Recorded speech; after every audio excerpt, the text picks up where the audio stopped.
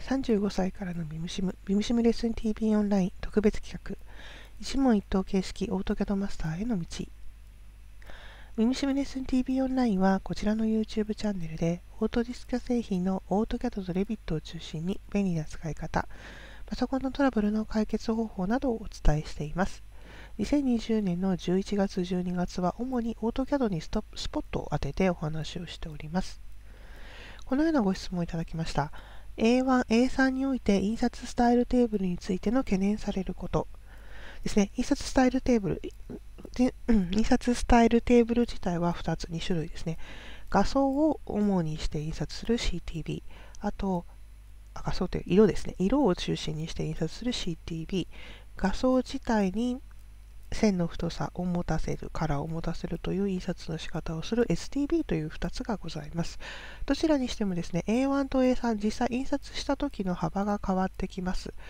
当然 A3 の方が込み入ったものになってしまうので、同じ線の太さというのはまず下げていただければと思います。そして CT あの間違わないように CTB にするにしろ STB にするにしろまあ、STB はともかく分けてあげるというところ渡すときにも基本は多分 CTP が多いかと思うんですが CTB 渡してあげるときに A1 用 A3 用という名前を付けてあげない。ご自身はいいんですがご自身以外に配布するというところを考えたときにはそちらも念頭に置いていただきたいというところ。あと太線というところの定義がどのくらいかというところも当然出てまいります。A1 の手書きの図面を元にして考えていただくのも間違いはないんですがただ手書きでは出ない線の細さというものも機器が高性能になるほど出てきます。ですのでそこも考えながら線の太さ印刷時のですね線の太さを考えていただければと思います。